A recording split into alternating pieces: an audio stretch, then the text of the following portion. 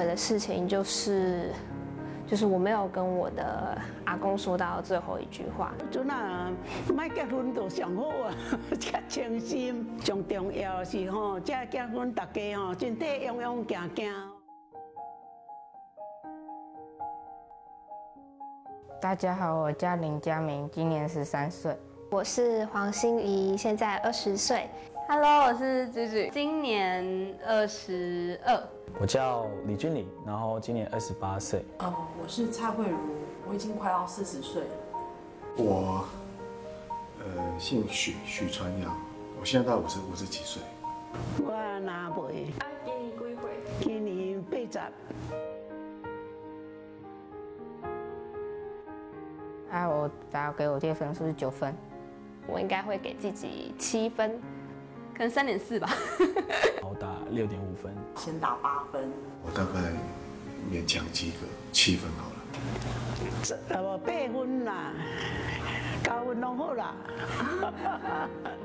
我会跟我的一些朋友到台湾的各个县市玩，当我妈的女儿。我觉得小时候会比较开心，因为没有大人的烦恼，然后也没有就是生活的压力。像是小时候被被爸爸妈妈带出去玩，吃很好吃东西的回忆，但是当下会不会觉得是人生最快乐？好像不会，但是好像每个阶段经历过去到现在这个时间点，你会回想说那个时候是不是最快乐的时候？有可能是最快乐的时候。到美国读书的时候，呃，五年时间哦，我现在回想起来是蛮快乐的。头一个孙上欢喜，最后悔的事情就是。就是我没有跟我的阿公说到最后一句话。今年二月的时候，那时候就是突然昏倒，然后就昏迷了大概呃整整九个月，在今年九月底就过世了。然后没办法好好的跟他表达就是感谢。我我觉得我人生没有什么后悔的事情，因为一直都是我想要做什么，我就会去做什么，然后我就去规划把它完成。小时候没有学把钢琴学好。可能年轻的时候曾经伤害了很亲近的朋友或者是家人。大家有个概念叫来来不及哦，来不及什么东西？来不及说谢谢，来不及说抱歉。上后悔是迄阵啊都未晓得，无迄阵啊，卖结婚就上好啊，较清心。读书之后还有玩。因为读书的话，让以后我有自己的梦想可以比较容易达成。只要玩还是一定要玩，要不然会很无聊。找到自己喜欢的生活方式，要找到一件喜欢做的事，然后很长久的去做，其实并没有那么容易。再做更多的研究，然后呢，呃，再把课教的好一点，然后再可以影响更多的人。然后，但是你一方面希望哦自己可以再健康一点，健康吧。那另外就是，我觉得是跟家人相处了。上重要是吼，这结婚大家吼，身体勇勇行行吼，啊事业也顺利，安尼上重要。去一个跟现在一样世界之后，会开始分配。我有一次做梦，然后梦到就是我死掉了，我就梦到我阿妈，就是我在睡觉，然后阿妈把我摇醒，说小琪走了。我想说走去哪？就是看到一道光，然后就跟着那个光走，然后就到了，就是就是类似一个像天堂的地方，然后那个世界有不同层次的，就是光泽就对了，就有一个很温馨的空间，然后我可以继续在那里就是做创作。活着的人不知道，那死了的人也不能告诉你，所以你就是好好活在当下就好了。很很很不敢去想象死掉后的世界或是情境是怎么样。不用上班了。不用备课啊，像我最累这个生应该是下地狱吧，我地狱就可以练身体啊，而且我很热啊，可以当 SPA 还不错。诶，上好是哦，来去阿弥陀佛了上好年了。很难过，因为会离开自己最爱的人，真的很难过吧？因为那时候就是我阿公过世的时候，我是就是在病床旁边，然后握着他的手，然后慢慢看旁边那个。仪器上面的数字就是这样一直慢慢掉，一直慢慢掉，然后掉到零，然后直到护士宣布就是瓦工过世了，就是因为就之后就会送去火葬嘛，就是你再也看不到这个人的样子。很不真实的一个一个东西。活着很难，但是活着的每一天都更靠近死亡。非常的一无所知，然后你说不害怕吗？其实也不是，其实也蛮害怕的。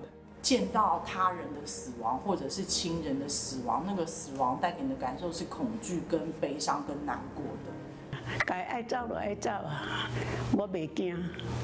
会想要到就是很漂亮的地方，像是像那个阿尔卑斯山之类的，阿尔卑斯山的一间小木屋，然后可能跟我很就是我的家人，然后跟呃很好的朋友，就是他们陪着我在那个很漂亮的环境，就是这有山，然后有有有雪这样子，然后一起共度人生最后的时光。我觉得我也没有特别担心这件事情，就随着随着发生的事情就就发生了，那就那就那就那就死掉了，然后就这样。心里面想要跟他们说的话，就是都说完，然后就笑着离开吧。让你周遭的人都知道说你很爱他，这蛮重要。第二个就是说你没有意识的话，呃，就很简单的葬一葬就好了，就是海葬或者树葬都没有关系。然后会希望至少每年有一天他们可以大吃大喝，然后好好纪念我一下，想起我这个人的好，这样就够了。告别的话，应该是说他们还是要好好生活啊。那我们有机会再见面啊。都拿时间到吼，要去讲啊，我当然要来吼，你大家都保重，安尼啦。每天开开心心过日子，用心积极的过每天。就是大学有几个时期，我就是真的很忙碌，对，然后就是被时间啊压力推着走。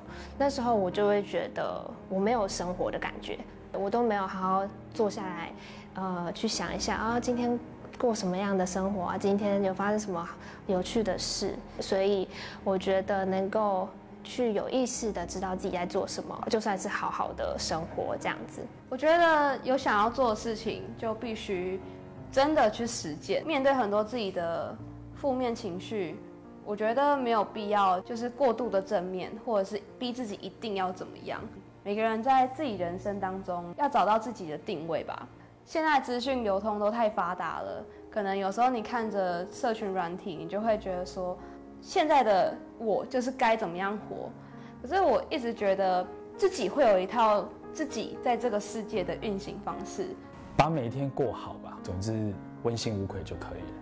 要接受生活中各种事情的不完美，因为你总是会遇到很不很不顺你意的事情。但是当你理解这些东西都是生活的必然的时候，你会很珍惜突然出现的很小的快乐。把你应该做的事情做好，我会觉得工作本身就是一个有趣的事情。你去面对那个工作，跟别人分享一些解决问题的方法，我我会觉得这部分哦，那我觉得明天是很有趣的。那身体用用哦，活咧才有意味啦；啊，那身体无用哦，活咧蛮无意味啦。